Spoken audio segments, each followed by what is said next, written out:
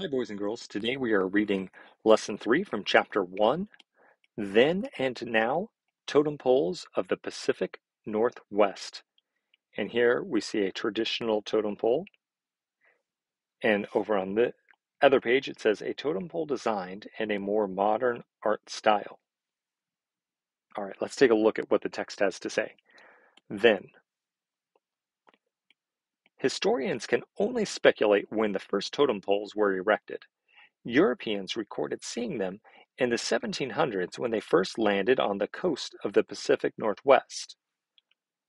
Though immediately impressive in their size and detail, totem poles can be fully understood only with a deep knowledge of the culture that built them.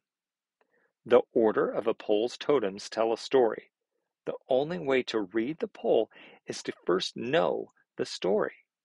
Each generation of Pacific Northwest people passed down the stories expressed in the totem poles to the younger generation. Let's take a look at the next page.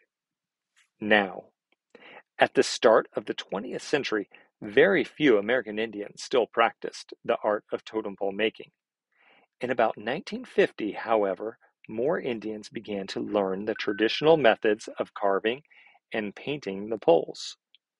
Totem poles today can be found in their traditional place in front of houses of gathering and celebration for Indian communities. Modern totem pole carvers tend to combine many different styles and methods of carving on the same pole.